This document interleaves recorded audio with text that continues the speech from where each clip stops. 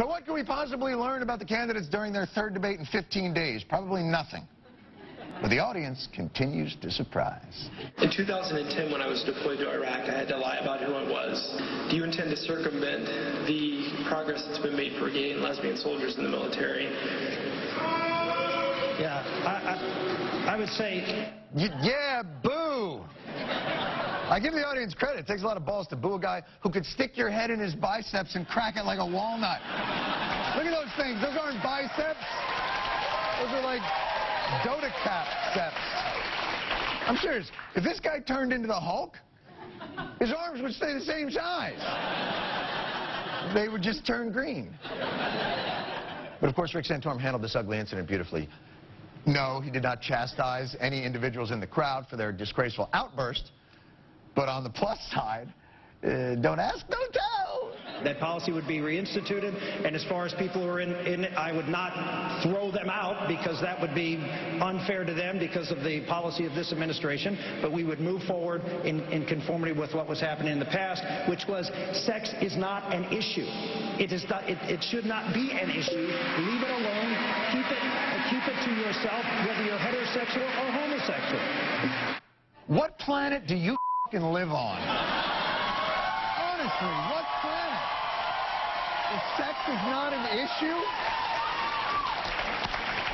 Yes, the Army uh, has never mentioned uh, spouses, heterosexual, homosexual. We need to go back to an Army where soldiers never specify anything about their sexual orientation. Like the old Army drill sound off. I don't know, but I've been told Eskimo genitalia of unspecified gender are mighty cold. Those classic World War II aircraft, the Memphis Pat. And the, the, the plane that dropped the atomic bomb, the Enola None of Your Business.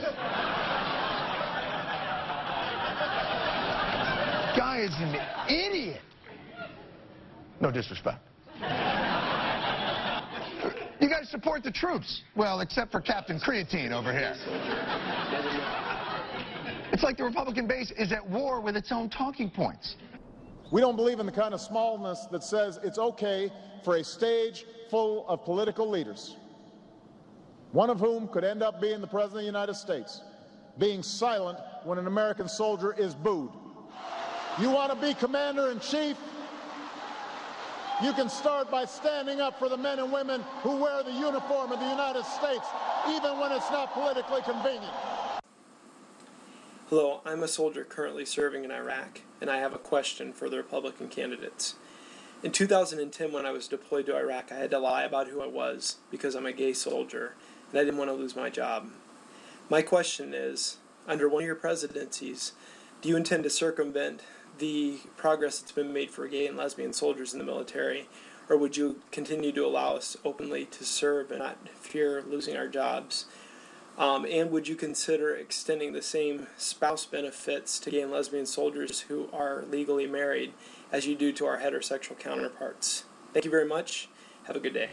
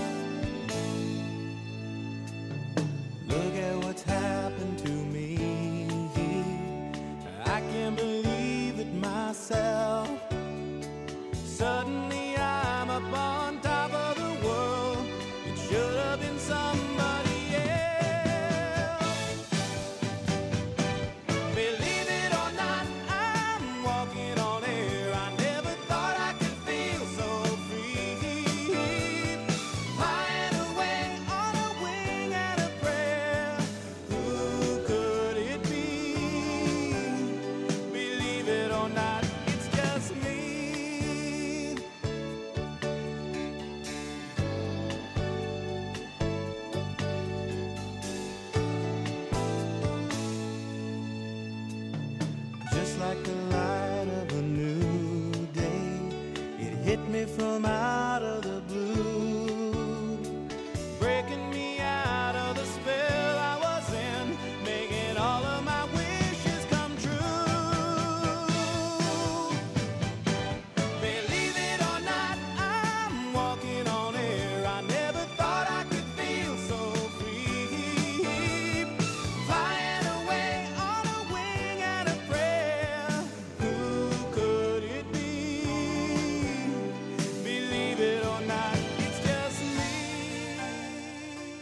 Captain Stephen Hill has served 18 years in the Army fighting in two wars. He just completed his latest tour.